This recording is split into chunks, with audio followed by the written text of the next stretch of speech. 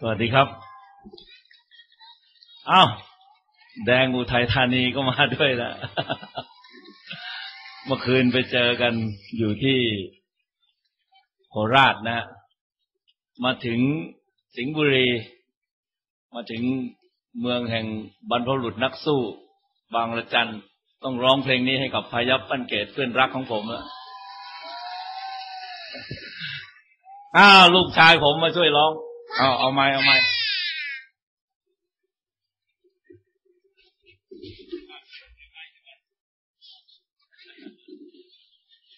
เอาเลยฮะดนตรีแทร็กเจ็ดนะ ก็บรรยากาศ ผมคิดว่า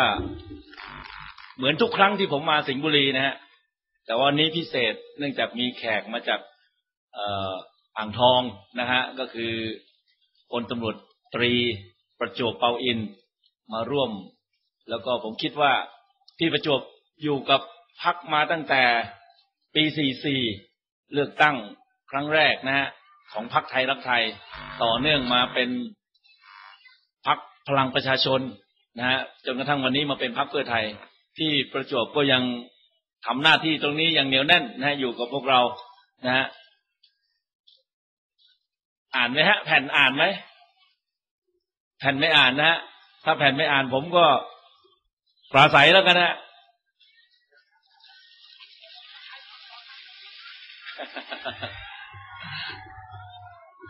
ดนตรีมัน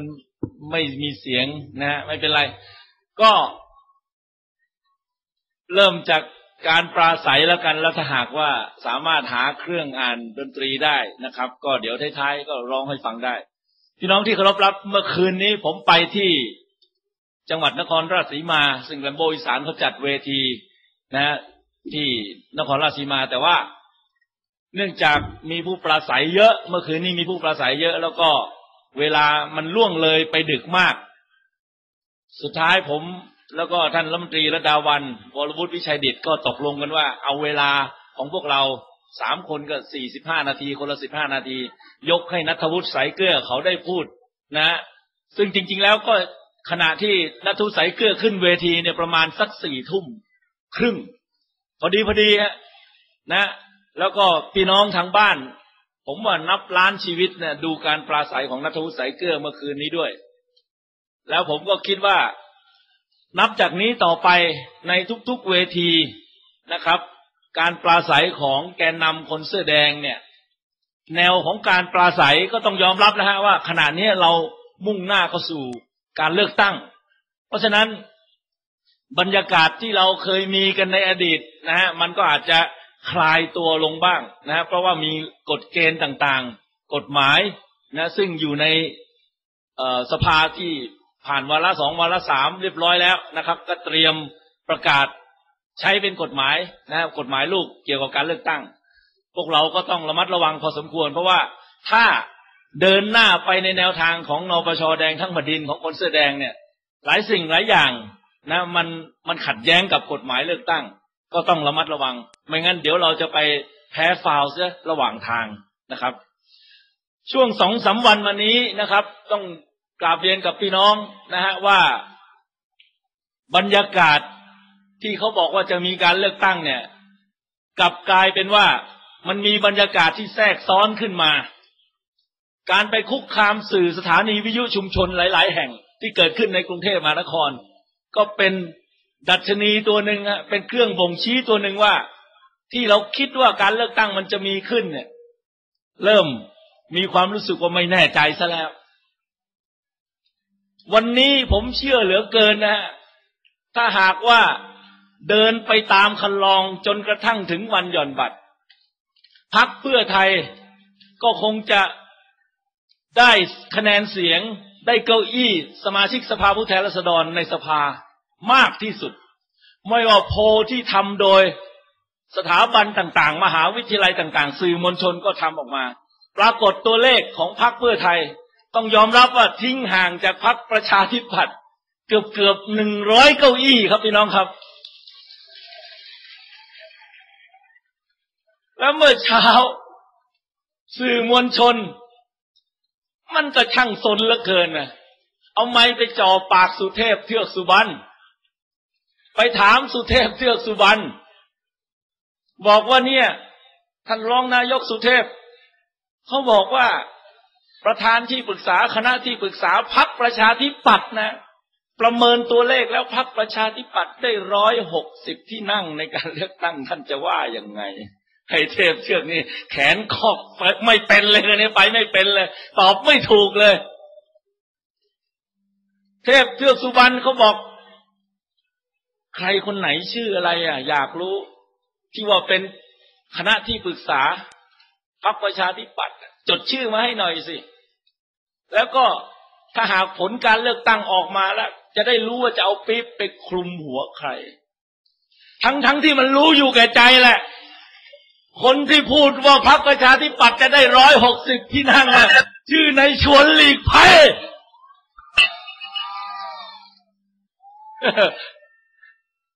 ไอ้พวกเรานี่ไม่ต้องห่วงอะสุเทพเขาบอกเขาจะเตรียมปี๊บไปครอบหัวชวนหลีกภัย พวกเราเตรียมปี๊บสองใบ ครอบมันทั้งแต่ชวน ครอบมันทั้งไอ้เทือกเลยแหละ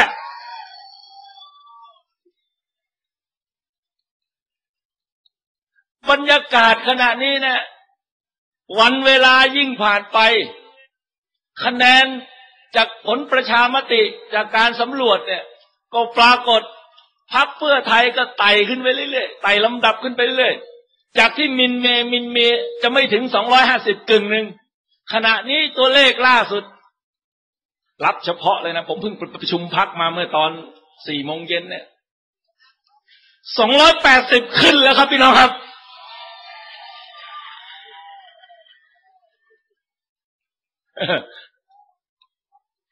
ผมนึกว่าวันนี้เนี่ยนะ ถ้ารัฐบาลพรรคประชาธิปัตย์หรือฝ่ายอมาตนะ มันมีปฏิกิริยาอะไรออกมานะ นั่นก็หมายถึงว่า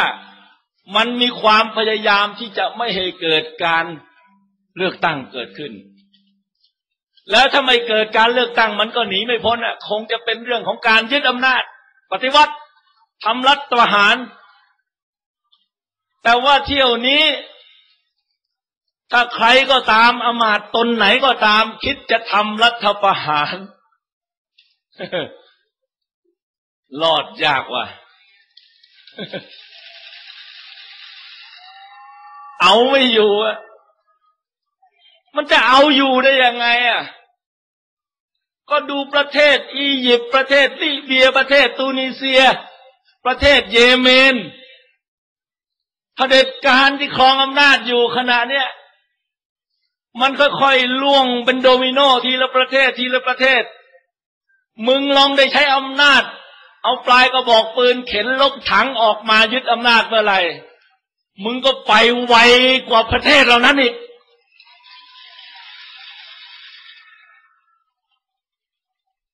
เมื่อสามวันก่อน ไปอีกหนึ่งประธานาธิบดีนี่อยู่ในอำนาจมายี่สิบกว่าปีไม่ยอมลงจากเก้าอี้ ประธานาธิบดีชาเล่ประเทศเยเมน เรียบร้อยไปแล้ว แต่กว่าจะลงได้นี่สู้กันสองเดือนนะฝ่ายประชาธิปไตยในประเทศเยเมน ต้องสูญเสียชีวิต ไปถึงสองร้อยยี่สิบชีวิตครับพี่น้องครับสองร้อยยี่สิบชีวิตแลกกับอำนาจอธิปไตยกลับสู่ประเทศเยเมน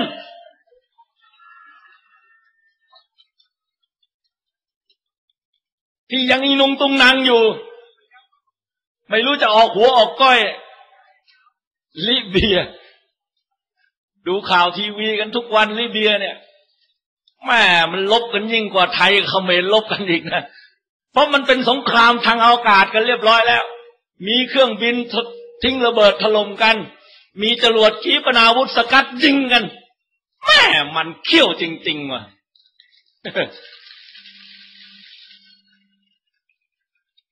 ปัญหาในประเทศลิเบียขณะนี้ประธานาธิบดีกัตดาฟีครองอำนาจมาสี่สิบกว่าปีครับ ฝ่ายประชาธิปไตยเขาก็ออกมาต่อสู้ ปรากฏการต่อสู้ของฝ่ายประชาธิปไตยในลิเบียเขาไม่ได้โดดเดี่ยวฮะจริง ๆ มีมหาอำนาจเข้าไปเกี่ยวข้อง เพราะมหาอำนาจสหรัฐอเมริกาพวก CIA นี่เขาไม่ชอบประธานาธิบดีกัดดาฟี เขาอยากจะโค่นล้มกัดดาฟีมานานแล้ว เพราะเขาเชื่อว่าประเทศลิเบียโดยการนำของประธานาธิบดีกัดดาฟีเนี่ย เป็นแหล่งซ่องสุม กลุ่มโจรก่อการร้ายต่างๆ กลุ่มโจรมุสลิมที่เที่ยวก่อการร้ายในประเทศในตะวันตกและสหรัฐอเมริกา ในที่สุดสหรัฐอเมริกาไม่กล้าออกหน้าตรงๆ ก็ไปดันหลังให้ประเทศฝรั่งเศสนะซึ่งอยู่ในกลุ่มสนธิสัญญา ป้องกันแอตแลนติกเหนือนาโต ฝรั่งเศสนี่ ไอความที่เคยเป็นประเทศเจ้าอาณานิคมของลิเบีย รู้ภูมิประเทศ เข้าใจวัฒนธรรมประเพณีของคนลิเบีย ก็เลยส่งกำลังทหาร ส่งอาวุธยุโทโธปกรณ์ สัมภาระต่างๆ เข้าไปต่อสู้กับประธานาธิบดีกาดาฟีสู้กันมาเกือบสามเดือนแล้วพี่น้องครับ ตัวเลขที่ไม่เป็นทางการ สองพันชีวิตแล้วครับ สังเวย สงครามกลางเมืองในลิเบีย เพื่อประชาธิปไตยพี่น้องครับ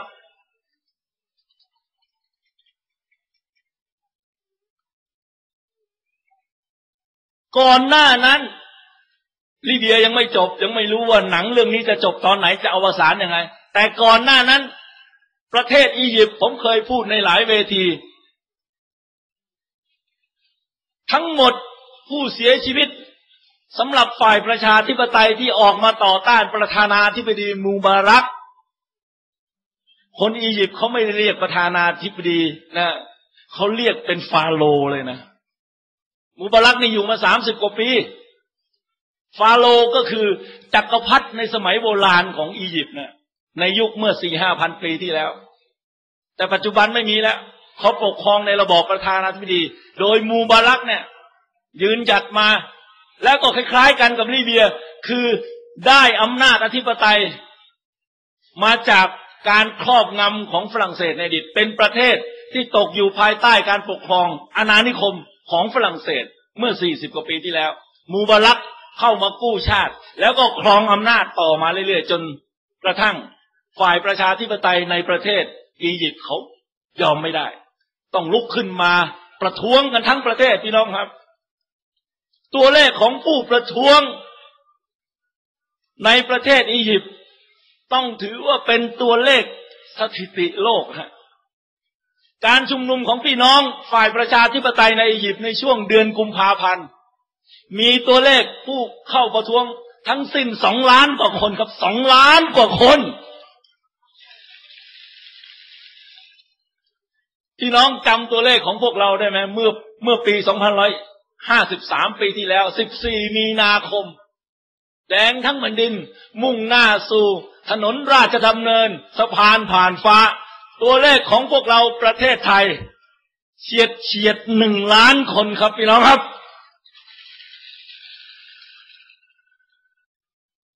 เพราะฉะนั้นผมต้องมาชวนเชิญพี่น้อง ถ้าหากพวกอมาตไม่ยอมให้มีการเลือกตั้ง แล้วก็เข็นรถถังเอาอาวุธสงคราม เข้ามายึดอำนาจอีกครั้งหนึ่งพี่น้องครับ เที่ยวนี้สู้กับคณะปฏิวัติ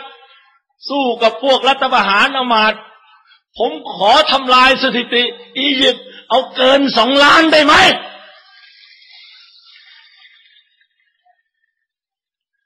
แดงอ่างทอง เอาไปสักสองแสนได้ไหม เอาแดงสิงบุรีอีกสองแสนได้ไหม คือพวกเรามันอยู่ใกล้กรุงเทพพี่น้องครับอยุธยาอ่างทองสิงห์บุรีอยู่ใกล้กรุงเทพ พวกเชียงรายเนี่ย มันเดินทางไกลนะ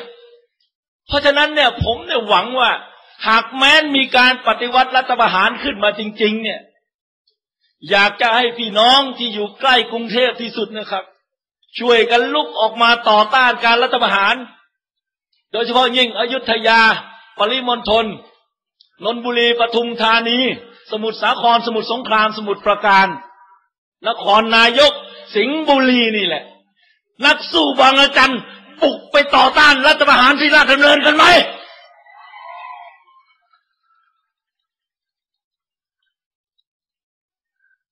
การต่อต้านรัฐประหารเที่ยวนี้ผมก็ ต้องเรียนพี่น้องตามตรงกันนะให้ดูการต่อสู้ของประเทศต่างๆที่ผ่านมาห้าหกประเทศ ล้มเป็นโดมิโนอยู่ขณะนี้ ไล่ตั้งแต่ตูนิเซีย เขาสูญเสีย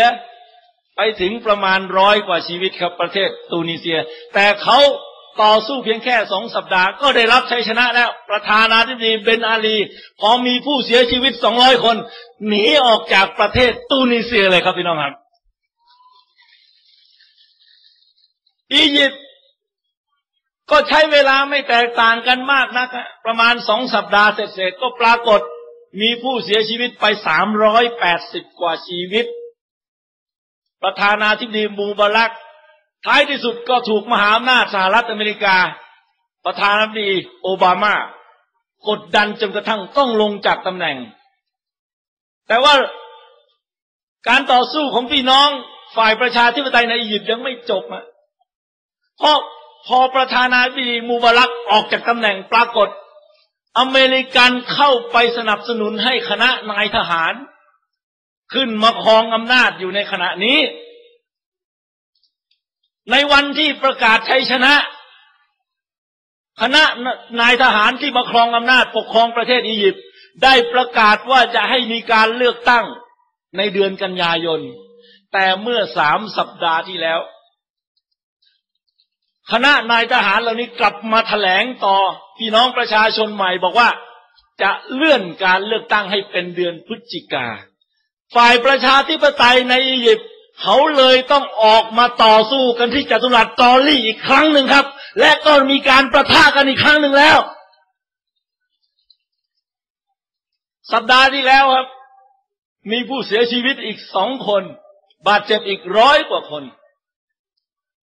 เรียกว่า อียิปต์นี่มีการต่อสู้ภาคสอง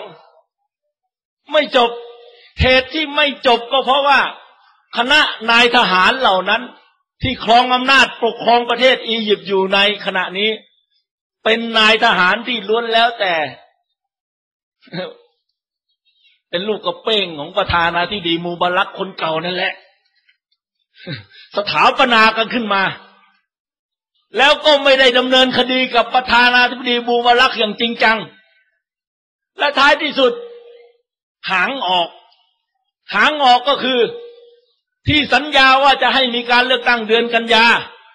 ตอนนี้เบี้ยวแล้ว พอเบี้ยวฝ่ายประชาธิปไตยในอียิปต์เขาก็ออกมารุกขึ้นสู้อีกครั้งหนึ่ง มหาอำนาจอเมริกาวันนี้ไม่รู้จะอธิบายกับสังคมโลกยังไง ว่าเมื่อเข้าไปแทรกแซงการต่อสู้ของฝ่ายประชาธิปไตยในอียิปต์เรียบร้อยแล้ว หนังไม่จบต้องสู้กันอีกหลายรอบ วันนี้ผมต้องกราบวิงวอนพี่น้องคนเสื้อแดง อย่าให้การต่อสู้ของพวกเรา หากแม้นมีการทำรัฐประหารนะ อย่าให้มหาอำนาจที่ชื่อว่าสหรัฐอเมริกา อย่าให้ CIA เข้ามาเกี่ยวข้องกับการต่อสู้ของพวกเราโดยเด็ดขาด เพราะอะไรอะ ก็เพราะถ้าพี่น้องจำได้นะ การต่อสู้ของพวกเราเมื่อปีที่แล้ว เดือนเมษาพฤษภา ท่านท่านจำได้ไหม มีอยู่วันหนึ่ง หลังจากการสลายการชุมนุมด้วยอาวุธสงคราม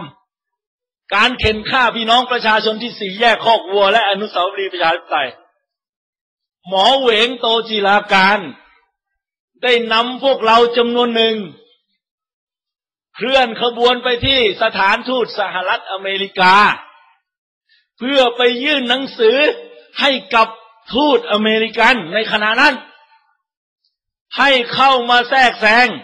ให้เข้ามาตรวจสอบ พฤติกรรมการล้อมสังหารประชาชนของรัฐบาลอภิสิทธิ์ปรากฏทูตอเมริกันไม่ได้แสดงท่าทีห่วงใย ไม่ได้แสดงท่าที เป็นทุกข์เป็นร้อน กับการที่รัฐบาลเผด็จการอมาตเข้าเข็นฆ่าประชาชนการท้องถนน ไม่มีประโยชน์เลย แต่หมอเหวงยังไม่ย่อท้อนะ หลังจากนั้นอีกสองสัปดาห์ เลขาธิการสหประชาชาติในบันคีมูลเดินทางมาในประเทศไทย หมอเวงก็พาพวกเราไปอีก ยื่นหนังสือถึงเลขาธิการสหประชาชาติ บันคีมูลเป็นคนเกาหลี แต่แท้ที่จริงไอ้หมอนี่ ขึ้นมานั่งเป็นเลขาธิการยูเอ็นก็โดยแรงผลักดัน การหนุนหลังของ CIA ของสหรัฐอเมริกานั่นแหละ บันคีมูลออกมาแถลงข่าวเป็นทางการเลย ว่าการต่อสู้ของคนเสื้อแดงที่ได้มายื่นหนังสือร้องเรียนนั้น ถือว่าเป็นกิจการภายในของประเทศไทย องค์การสหประชาชาติจะไม่เข้ามาเกี่ยวข้อง นี่คือพฤติกรรมพฤติการของประเทศ ที่เรียกได้ว่าเป็นมหาอำมาตย์แห่งโลก สหรัฐอเมริกา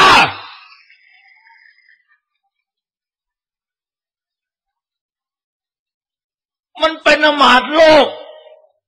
เรานี่สู้อมาตประเทศนะแต่กลับไปเจอไอ้พวกอมาตโลก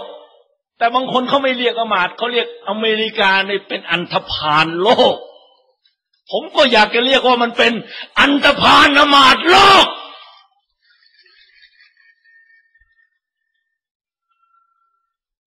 เข้าไปวุ่นวายเข้าไปหมดอะตอนเนี้ย ในลิเบียในอียิปต์ในตูนิเซียในเยเมน วุ่นวายเข้าไปหมด ฝ่ายประชาธิปไตยในประเทศ ตะวันออกกลางแอฟริกาเหนือ ที่เขาได้รับชัยชนะ แทนที่อำนาจอธิปไตยจะตกอยู่ในมือของพี่น้องประชาชนในประเทศนั้นๆไอ้กันเซีเอเข้าไปดุลหลังหมด เข้าไปแทรกแซงหมด เพราะมันมีผลประโยชน์อยู่กับประเทศเหล่านั้น นี่ลองคนเสื้อแดงทำท่าจะชนะขึ้นมาสิมีเรื่อยกันจะไม่เข้ามาแทรกแซง นี่ผมต้องเอาส้นตีนยันไว้ก่อนนะ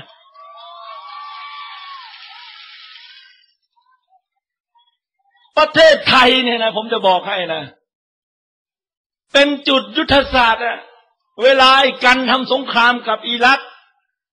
เราต้องส่งกำลังบำรุงนะฮะเพราะเราเป็นประเทศเกษตรสเสบียงอาหาร ยุทธปัจจัยต่าง ๆ ต้องมาขนจากประเทศเราเนี่ยไปลบสงครามในตะวันออกกลาง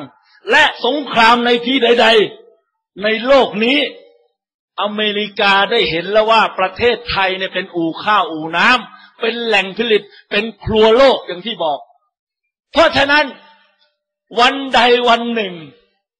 ถ้าหากคนเสื้อแดงได้เปรียบขึ้นมาแล้วแล้วก็ผมบอกพี่น้องเลย ช่วยกันยกส้นตีนคนละข้างสองข้าง ยันมันเอาไว้พี่น้องครับ อย่าให้ไอ้กันเข้ามาเกี่ยวข้อง และที่สำคัญที่สุด ผมไม่พูดไม่ได้ ทูตอีลิกจีจอนคนนี้แหละครับ คนเดียวกันกับที่พี่น้องในช่วงเดือนเศษเนี่ยได้ยินชื่อตลอด เจ้าของบันทึกโทรเลขสำคัญนะ ที่ถูกตีพิมพ์ไปในอินเทอร์เน็ต ในเว็บไซต์ WikiLeaks ถูกตีพิมพ์ในหนังสือ หนังสือพิมพ์ The Guardian ในอังกฤษ เป็นโทรเลขที่เขาเขียนถึงประธานาธิบดีโอบามา เป็นโทรเลขที่บรรยายถึงการพูดคุย กับมหาอมาตย์ ของประเทศสยามสามคนที่ชื่อพลเอกเปรมปินสุรานนท์พลอากาศเอกสิทธิเวศิลา และนายอานันต์ปัญญาลชุน เนื้อความในโทรเลข พี่น้องผมเชื่อว่า ในที่นี้เนี่ยได้อ่านกันแล้ว มีความชัดเจนเสียยิ่งกว่าชัดเจน เนื้อความในโทรเลขเนี่ย ได้บ่งบอกชัดเจนว่า ไอ้มหาอามาตย์ทั้งสามตัวเนี่ย มันเตรียมการที่จะประทุษร้ายกับองค์รัชทายาท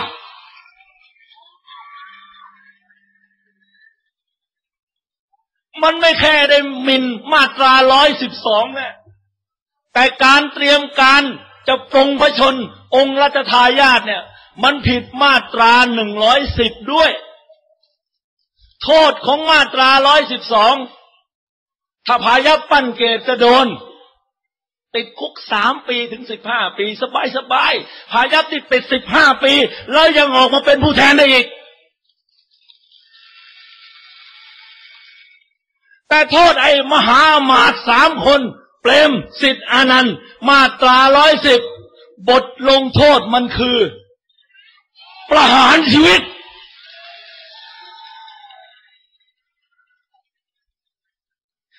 นี่ยังดีนะ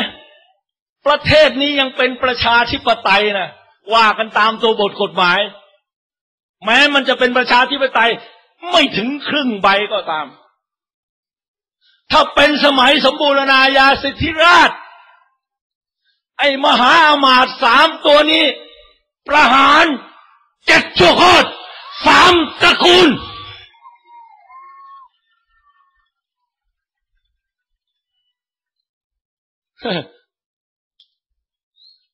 การบังคับใช้กฎหมายประเทศนี้มันเป็นสองมาตรฐานพี่น้องครับ ความผิดทนโทษหลักหลักฐานชัดเจนอย่างนั้นยังไม่มีใครกล้าไปแตะต้องมัน พวกผมแจ้งความดำเนินคดีมันตั้งแต่ปลายปีที่แล้ว ตั้งแต่ธันวาจนบัดนี้ไม่มีอะไรกระดิกครับ อาจารย์สุรชัย ดานวัฒนานุสร์ขึ้นเวทีท่อมท่อมท่อมเล่านิทานให้พวกเราฟัง ปรากฏติดคุกไปแล้ว มาตราร้อยสิบสองสองเดือนกว่าแล้ว ยังไม่ได้เห็นดวงจันทร์เลยครับพี่น้องครับ มันกลายเป็นประเทศซึ่ง ถ้าไพร่เสื้อแดง ถูกข้อกล่าวหาว่าทำผิด มาตราร้อยสิบสอง จับยัดคุกครับ แต่ถ้าเป็นมหาอามาตย์ต่อให้ผิดมาตราร้อยสิบซึ่งมีโทษประหาร มันก็ยังลอยนวล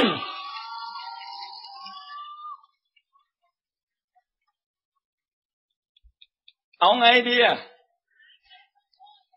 ประหารเจ็ดจุโคตรไปเลย มันมีทางเดียว ถ้ามันปฏิวัติเราออกมาสู้ แต่ถ้าเราเดินไปถึงวันหย่อนบัตรลงคะแนนได้ ไม่มีทางเลือกอื่นนะคนอ่างทองก็ต้องเลือกพี่ประจวบผมนะคนสิงห์บุรีก็เลือกพี่สุรสารผมนะเอาสองคนเข้าไปทำหน้าที่ในสภาผู้แทนราษฎร แล้วสองคนนี่แหละ จะลากคอมหามาตเข้าคุกให้จงได้ สวัสดีครับ